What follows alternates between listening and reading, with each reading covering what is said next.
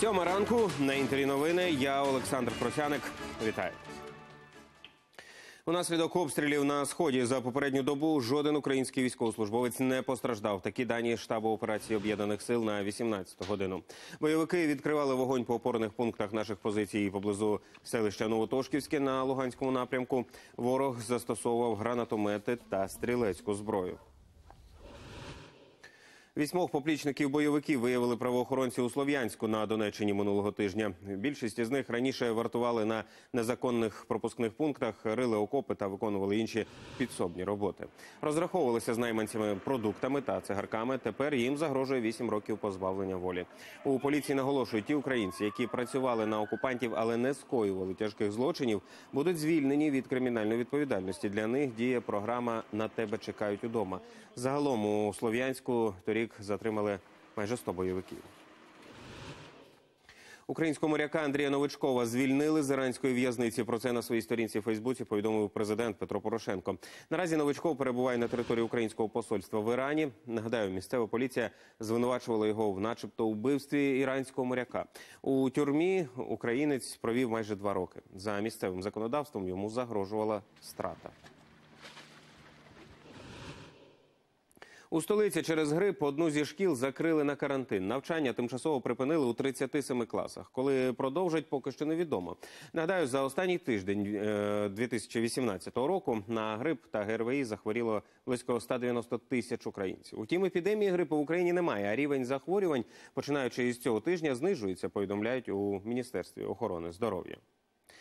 За тиждень в Україні на кір захворіли 2305 людей. З них понад половина діти. Уже з початку року від ускладнень цієї недуги одна дитина померла.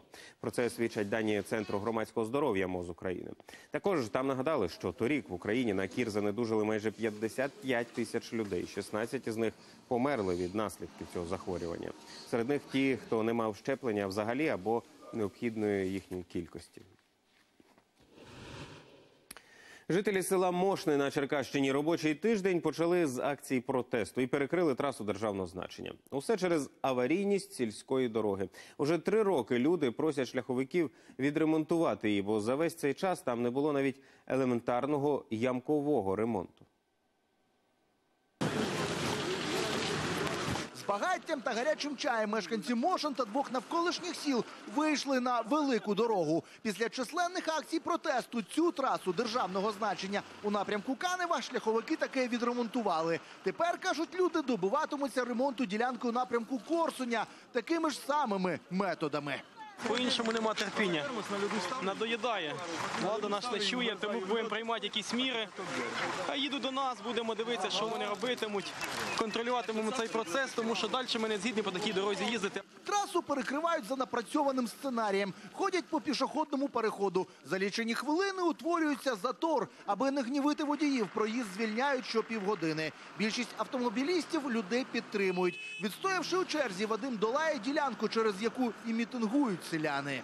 На весну я не знаю, що тут буде. Тут нічого просто не останеться, просто нічого. Тут асфальту нема вже, асфальту нема, тут самі ями осталися і все.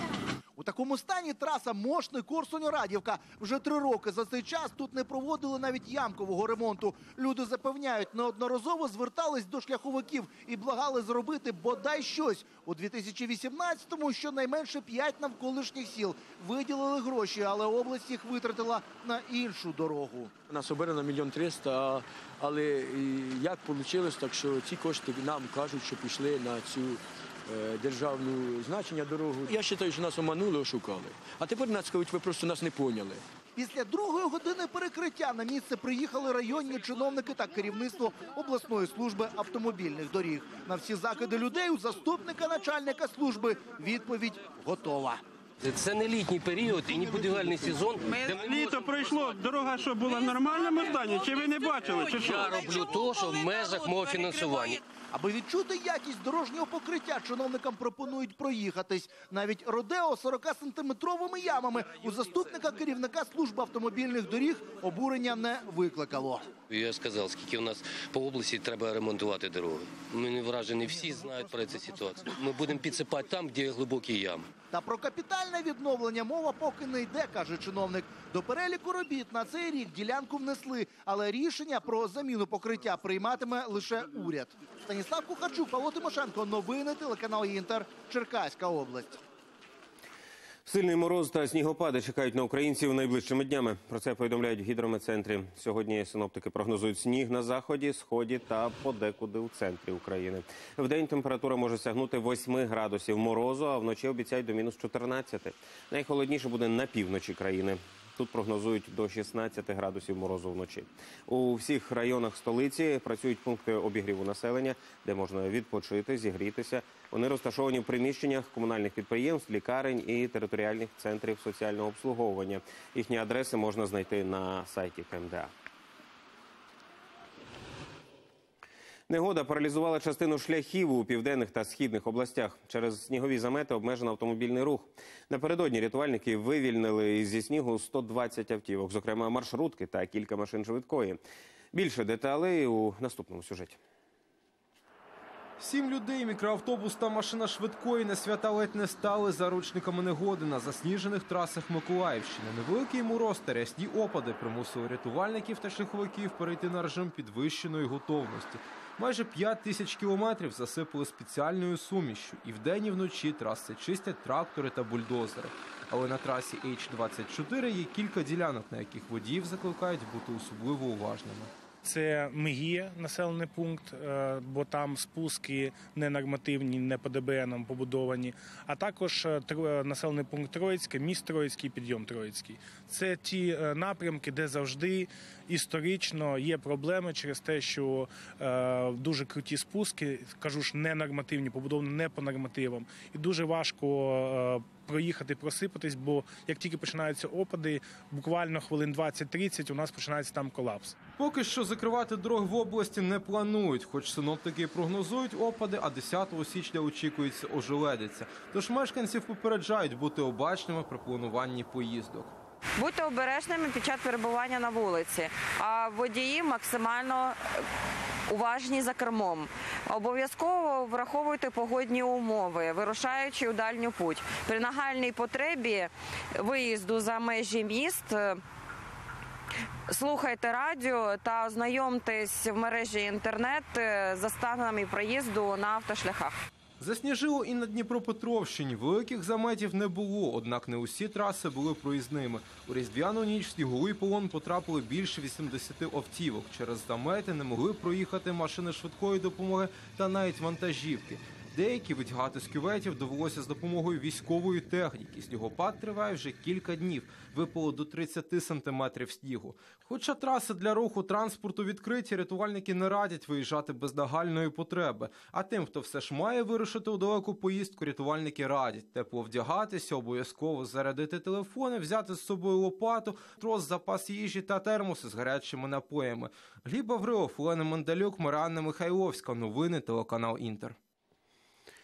Сильні снігопади та рекордні морози, які накрили Європу, вже забрали життя 13 людей. Про першу жертву раптового похолодання повідомили у Румунії. Там замерз 67-річний чоловік. У Норвегії велетенська лавина минулого тижня накрила чотирьох лижників.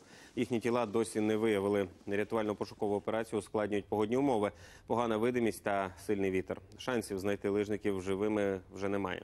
Ще принаймні семеро людей загинули напередодні в Альпах Баварії та Австрії, теж через сходження лавини. Смерті від лавин зафіксували і у Швейцарії. Погодна ситуація поки що тільки погіршується, а синоптики прогнозують нові потужніші снігопади. Кількість постраждалих внаслідок залізничної аварії у Південно-Африканській Республіці зросла до 600. Чотири людини загинули. Нагадаю, напередодні два потяги виїхали з міста Мабопане по одній залізничній колії. У місті Приторія вони зіткнулися. Один поїзд зійшов з рейок. Багато людей опинилися під уламками. Загалом на момент інциденту в обох потягах перебувало близько 800 пасажирів. Лондонський аеропорт Гітроу відновив роботу після вчорашнього повідомлення про появу дрона над злітно-посадковими смугами. Нині всі рейси відбуваються за узгодженим графіком. Безпілотники над лондонськими литовищами з'являються вже не вперше. 20 грудня вони спричинили хаос в аеропорту Гатвік. Там люди через масове скасування рейсів опинилися у пастці на 32 години. Виявити жартівників, які керували квадрокоптерами дистанційно, правоохоронцям досі не вдалося. У резиденції Санта-Клауса, що в Фінляндії, поповнення. Там створили крижану долину з культовими казковими персонажами мумітролями. У долині є парк розваг, невеличкий бар, а також півтораметрові скульптури. Усе це з льоду. Головним експонатом став крижаний замок, прикрашений мумітролями. Саме ці хімерні створіння є улюбленими казковими персонажами фінських дітлахів. Працюватиме долина аж до серпня. Поки що це все. Наступний випуск вийде в ефір о 8 Тоді побачимося. До зустрічі.